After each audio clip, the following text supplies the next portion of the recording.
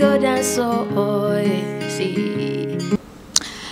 Ruba miyo mich mabeji dok bena maduong ki wan lo tiyan wama ki luo gini luo magi aki tunku male ma Uganda ikit me we ikit me miel ikit me boko lok bena iyo po ma olo ni ngech ki ngene wa beri kair me kwera lo tiyan waman tin ya yo mada isho eni mo olo ni ngech ki ngene beri ching cha biet weng obogolo ko winyo kit kwo pa lutino man gukwo gudongo ni ning.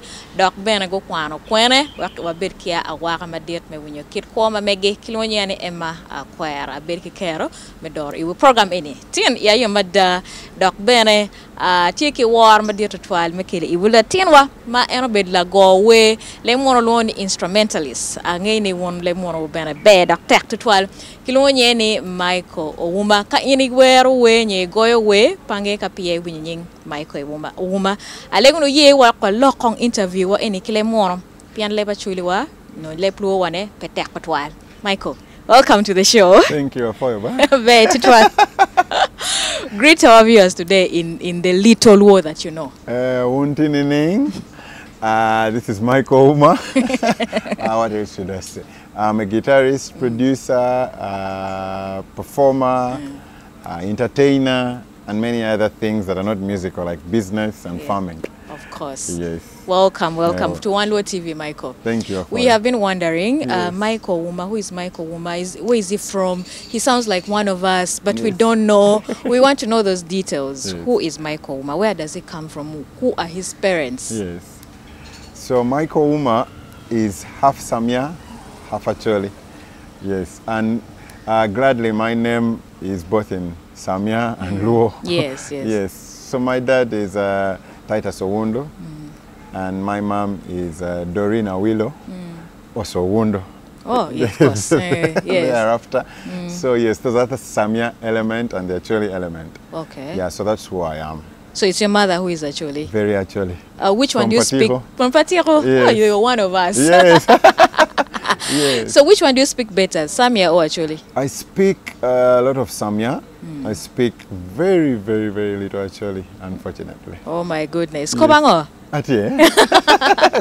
You will learn slowly by slowly. I will learn. I'm, we'll, we'll keep interacting Yes. and I'll learn. I'll yeah. pick it up. You'll pick it up. Yes. Yes. So you actually 0.5%.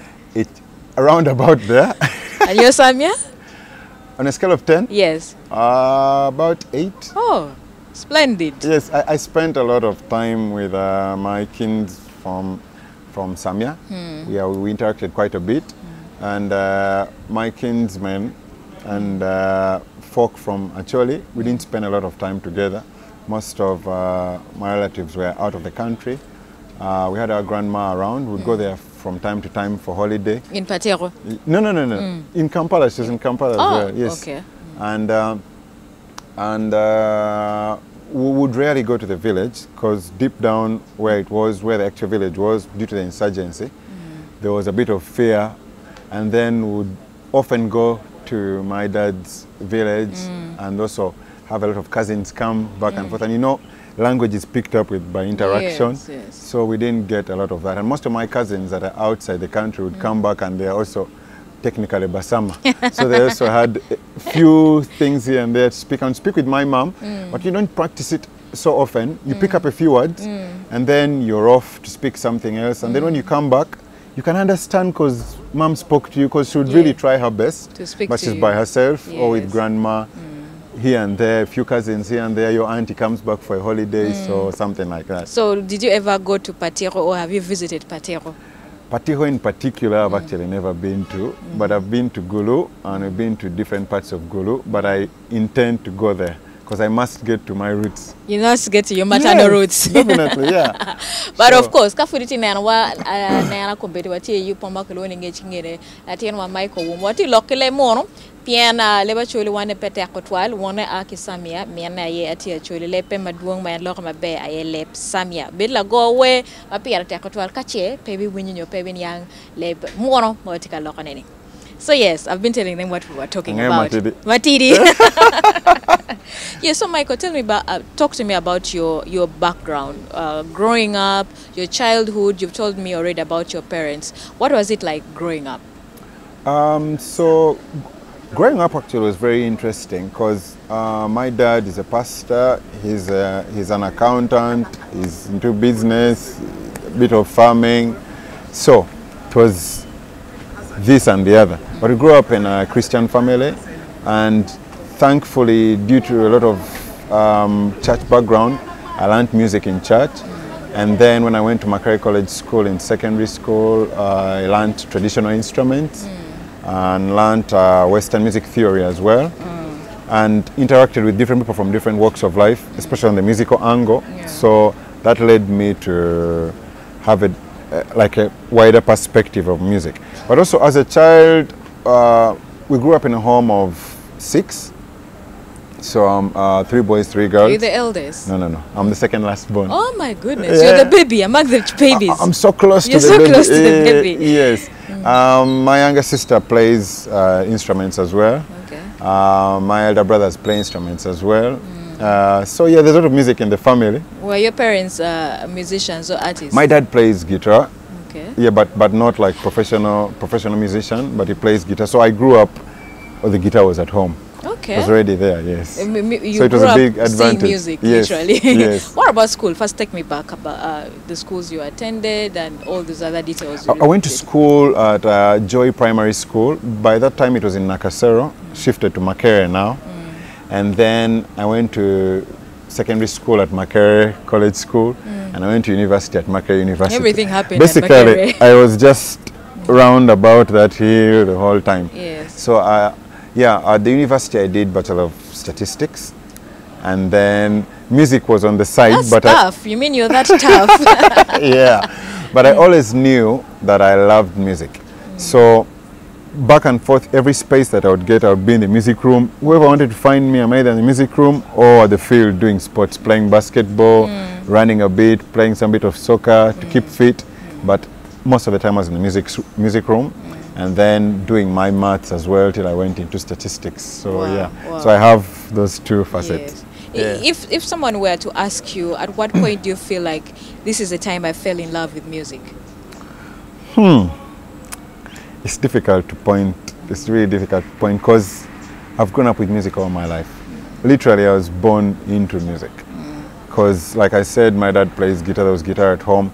Uh, we're at church, uh, and there's music. The, the praise and worship team. Then, as a young boy, I sort of entered the choir at some point, playing instruments, playing drums. Then I went to keyboard. Then I played bass. Wow. Then, yeah, just investigating. You know, as a child, it's more Trying of like be inc- you're inquisitive. very inquisitive. And then I found myself in it literally. I just couldn't run away from it. I think music was calling me. yeah. Yeah. so I don't know when I actually fell in love with music. I can't get a particular point, but I can say all my life I've been in it. You've been in music. Yeah. So at what point do you feel like, okay, this is what I love and I need to do it professionally? Okay, so about S3, S4, uh, during in my free time and holidays, I would coach other students and pupils traditional instruments that I had learned in school. Oh, Yes. which ones the- were those? Uh, the akogo, the dungu, and the xylophones. yeah, the xylophone as well, uh, the ndere, the, the, the local flute. And they liked what I was doing. And my music teacher at the time, Mr. Kaizi, and Mr. Busulwa. From Makerere College. Yes, uh, yeah, the late Mr. Busulwa. Uh, they encouraged me to keep getting better at it. And then whenever they, they, would- they would have uh, events, because Mr. Kaizi had a troupe, traditional troupe. So he would keep calling me. I wasn't part of the troupe, but he liked they was playing what I was playing. So I would keep going back and forth and play with them and play with them.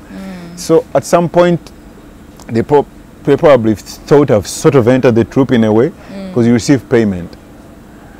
Like, okay, So this thing that I'm doing is And actually that is like profession- S4 This is like S4 VAC. And how much One of the holidays, uh, like 30k, 20k. Yeah, but I mean, it was it was just part of of training for me. Mm. But for them, they were seeing me already like as someone that's already ready. Yes. yes. So back and forth, I realized, oh, this is a profession. This is something that I can do. And then um, about S6 VAC, round about there, uh, I kept meeting people that would go to the jam sessions at the National Theatre, at Sabrina's Pub, etc. And they were performing, I would learn from them, listen to someone playing guitar, try to play what they're mm-hmm. playing, maybe bass, drums, and so on. They say, no, no, actually, these are bands that are set up, and this is someone's actual job. They get paid.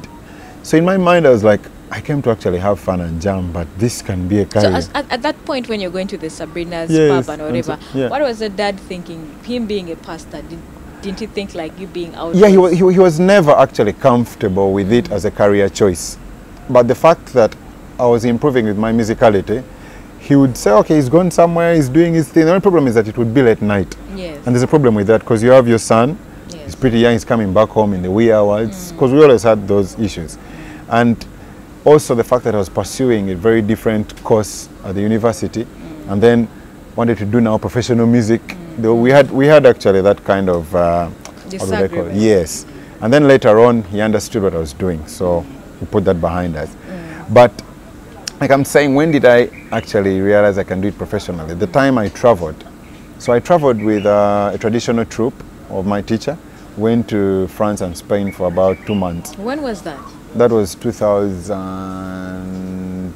You were still in secondary school. 2006, I think. Mm. I was just done. Mm. So we went, we went to France and Spain. Mm-hmm. We, we performed and we did what we, whatever we did, but for me it was more of exposure, etc. And then you interact with different troops, different bands, and so and these are professionals. And this is what they do for a living. So I realized, okay, so I can monetize my talent as well as my education side. So afterwards, I created a band with a friend of mine called Chinobe Habat. Our band was called Soul Beat Africa. Just the two of you. Uh, we started it up, but Yeah. we, of course we had other members. There was Baka on the percussions. There was producer Alan. Right now he's playing with Abeka. He's the bass player. There's Jude was playing the keys. Ambrose was the drummer, and Sewa was playing other percussions. Our group was um, we were trying to do world music, trying to investigate how we can get modern instruments, Western instruments, and mix them with traditional instruments and create our own sound. So, but it was more like a youth group. You know, you know when you still have time, you're free, and so on. Was that after university now? This was now, this was now towards the end of university, like midway. Yes. Yeah, about second year, right mm-hmm. about there. Mm-hmm. So we toured Africa. We did about 18 countries. Wow. Yes. Your your own band. Yes, and we did, and we did also a tour in the US. Mm-hmm. So after that, of course, everybody had their own path, their own walks of life, and so on. But that was that was like the start to spring up my entry into. So someone who is watching you today might think, "Oh my goodness, just starting a band and you're already traveling Yes. across the world." Did you have like sponsors? Did you have like some guidance? Because it's, it's not easy to Of course, travel as a definitely, yes. So we, the style of music we were doing was very um, appreciated by most of the expatriate community. Uh, so we got a lot of help from Alliance Française. It was courtesy of Alliance Française that we traveled in Africa. We sort of won, um, what would I call it? Um, it wasn't a competition per se, but you bid for it and you win. And then they take uh, an artist perhaps from East Africa, next time from West Africa, another time from South Africa. Maurice Kirya got something like that as well from RFI and did a tour. So this, this used to happen a lot under Alliance Française back in the day, German Culture Center, these kind of agencies, uh, institutions, and I actually thank them a lot for that. So yeah, that's what happened with us. It, we had started it up and immediately we did what we did. So yeah. And you see, you, you started saying yourself, "Oh my goodness, this thing is bringing money." I Yeah, do and I can do it, yes. And it was the first time. How It was the first are. time, absolutely. Wow. But but you see, uh, I'm I'm not one that believes in luck hundred percent, because I believe in being in the right place at the right time. Yes, that's where the lucky part would be, but using your opportunity is something else as well, because we could all be under the showers of blessings, and one of us uses an umbrella. And now of us gets soaked in the blessing. Yes. But we're all in the same place. So how you use the opportunity matters. Yes. So I may I may be in a situation where we're lucky to have blessings here, mm. and look at the blessings and laugh at them and move away. Yes. And I take hold of it and move to the next level. Very true. very Yes. true. Speaking of blessings, someone is going to say, we of course we've seen you play uh, instruments, which is very mesmerizing. Yeah. But um, uh, we've not had you sing. Yes. someone is going to, someone who doesn't know who is watching you today. Yes. How come you don't sing and you only play instruments? So, um, one thing that many people don't do is introspection and self analysis. Understanding your strengths and weaknesses, and understanding what you're better at and probably what you need to improve on. And then getting a weapon of strength and using it not just to monetize it, but to better yourself. So, yes, back in the day, even growing up, because it's a musical family that I'm in, we used to sing and sing in choir and sing in church. But I realized my level of performance with my instrument is way higher. So actually, I don't even know the last time I tried to work on my vocals to be so good because my focus went to the instrument because I know that's my strength. Hmm. Yes, and I put that at the forefront. Hmm. Yeah, Did so you I try can say- singing at some point? Like from I did, but, but, but never as as a professional or never to, to better it to that level. Hmm. So perhaps the, sometimes we do our band music and I do sing and back up perhaps the, the lead singer because for them voc- vocals are their forefront and their strength. Yes. So I'll perhaps back them up somewhere just to keep it going and so on. But the instrument Is is my voice. Wow. Yeah. What about other kinds of singing, like rap or something?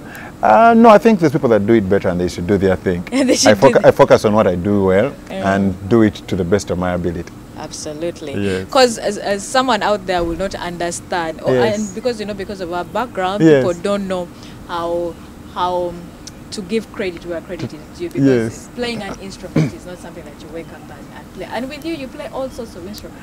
I play so many instruments, that's true. Which ones are those? Hmm. So, on the Western instruments, I play, uh, I play a bit of keyboards, I play a bit of drums, some trumpet, uh, of course the acoustic and electric guitar, bass guitar as well. What have I forgotten? For now, I think that's it. Um, I tried a bit of saxophone, but I played it for only a week, and then where we had it, it was taken away, so I stopped investigating on that. Same to violin. It's that, it's that stage where I was trying to investigate different things. Then traditional instruments, I play the adungu, the Oh, you akogo, yes, Nice. the ndingidi, which we call the orutu, uh, rigirigi. Uh, I play the ndere, I play xylophone, traditional drums. Drums. Yes, so it's, it's, it's just, music for me was like, you, you know when someone is like in a candy store, when I pick this, pick the other, pick the other, or someone is like into a lot of toy cars and things, they excite you. So when I would get into the music room, I'd get excited. I've tried the drums enough. Now let me try this instrument. What sound does it produce? Things like that. So at some point you realize you're actually playing everything. So let me ask: Did, did you like teach yourself? How how does it happen for you?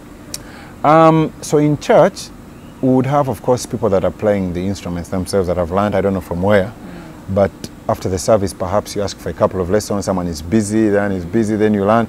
You probably seen them play, then you try to play what they played. Maybe it's right, maybe it's wrong. You, try, you say maybe I'll try again next Sunday, because there's many of you that want to try, and there's a few instruments. It's in church, so in church it was that kind of thing. Then you learn a bit, but then maybe they saw you try last time, and this time the person that was supposed to play drums didn't come for service.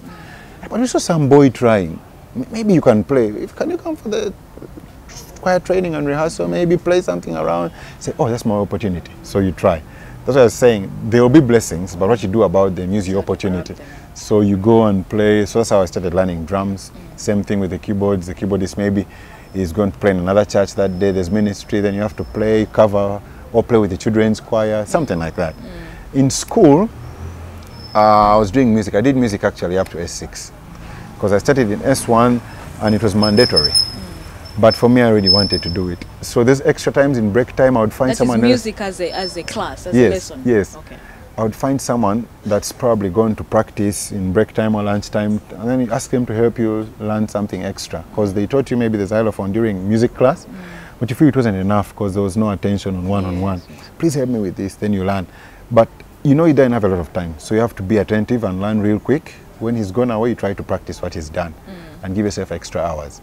So, did, so yeah. did, did you teach yourself even how to read music? Because No, no, no, no, no. Um, so I studied music from S1 up to S6. Within studying music, there's practicals where you do the instrumentation, and there's theory when you learn how to read music, how to notate music, how very, to transcribe. it's very complicated. It's the hardest. It's not hard per se if you are disciplined about something and you're talented in it. The, my, my perception of it will be very different from yours. You'll find somebody that finds studying chemistry a no-brainer, and you find someone that's very good at literature. Mm. You find another person that's good at history, another person that's good at physics. But if if you ask the chemistry person to probably give run for a discussion in the literature department, he'll say, eh, eh, eh, hey, hey, hey, hey, Sibi, so this is really difficult. And then this one will find the one is easy. So I can't say it's particularly difficult, but it's more engaging and needs more attention. And the thing is, music is a language in itself. It's an international language, and if if you learn the music theory, it becomes easy. When I traveled at the time, like I told you about, you meet musicians from different uh, walks of life, different countries, but you're going to play a music piece that includes a Chinese, it includes an African, it includes someone from the US, etc. So all they've given is transcribed music. You have to read your, your piece of music, do your personal rehearsal, meet for the sound check, And that's and what I perform. wanted, that's what I wanted to find out.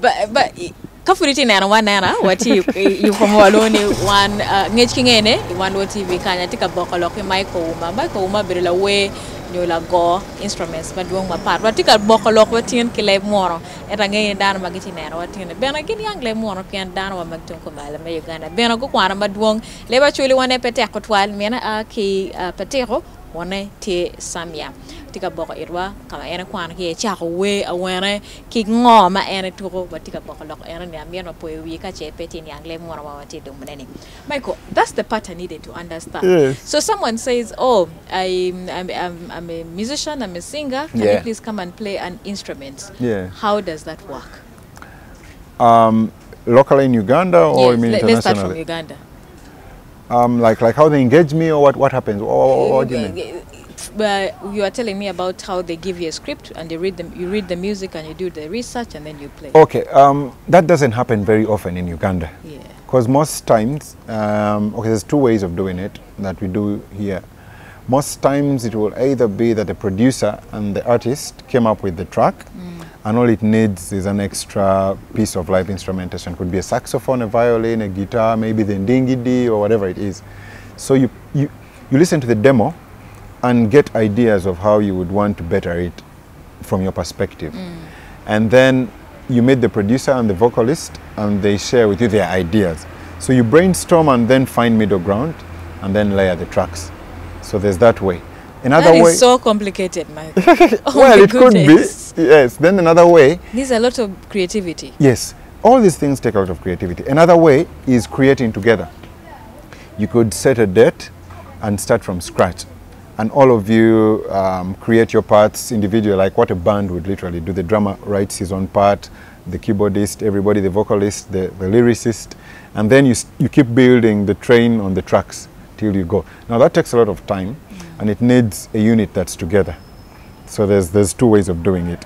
So in UG, it's it's a bit easier, so to say, because if, for example, I'm supposed to um, play a guitar part or a keyboard part in um, a track that's for somebody perhaps in Russia, hmm. and they don't have the audio out yet, and they send me a script. Hmm. They send me the manuscript and the it's in staff notation. Hmm. I, I should be able to read it and, li- and know what the parts are like and then know where I should come in.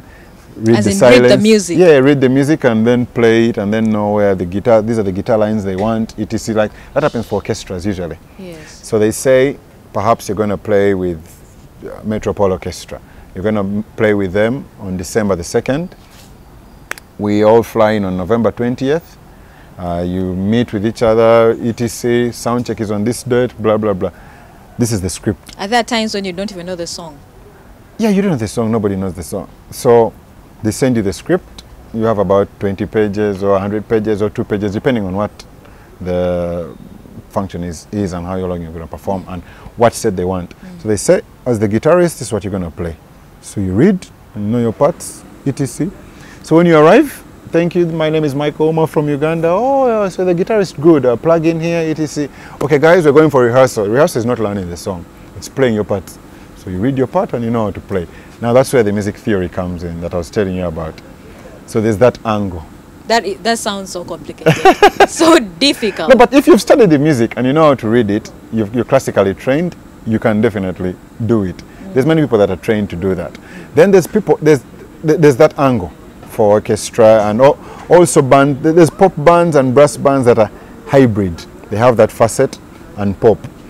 Then there's the new school way where I just send you a track to your country and then I someone gives you like a microcosm of what they want you to do and they tell you the rest create so you're free and you just listen to it maybe it's a song by Davido and he wants a guitar from you because like a song that we did uh, for Jason Derulo yes Impressive. the time when there's going to be MTV Awards. so they wanted the Ndingidi. Yes, and they didn't. They didn't have an actual script of how they wanted Oh, to, the to be played. mm. So they had to send me a demo, and I think about how an Ndingidi would fit into that music. So I have liberty of creation at that point. And that creation is, is, is given to you. Yes. The rights are to give it to you. Yes, because at this point he's never played the Ndingidi. It's from Uganda, but he's heard it everywhere. This Orutu, it, uh, okay, yes, but you know what? I think it's really just from your region. You know what? Create something. So you give them it. Uh, you say, um, I have this option, this option, this option, and the other. I like that one. Okay, so when we, when we have that option, and we build on it, create it, mix it, record again. it. Yes, it's an easier way. Okay, what about the type, the part of reading music? Does that happen in Uganda? Um, so we have classically trained musicians and we have musicians that learnt by ear. You see, like I was saying, when I was in church, learning music in church, and most times people that learn music within the gig somewhere, in a jam session somewhere, it's usually not classically trained. Yeah. There's no musical theory that is at the forefront. It's up to you to do personal research and learn about music theory. Usually it's just katikubao, to play. uh We'll play the one, now go here. Yes, so yes. you go home and listen, hey, this was the one, one means this, four is this. So you now start understanding Polamba, how it works. Uh, you understand? Yes. Uh, Mark, I want us to go for a short break, then we come back and you tell us how music is done in Uganda. Is it professionally or not professionally? Ah, all right. Urati bogolo Michael uma iyu pama waloni ngech kingene i wando TV kanyu wabiri ki ker me bogolo kilo lep luonyo leba chole amir kongo yue man no kadada kaduk dakwa dukwa mete eni.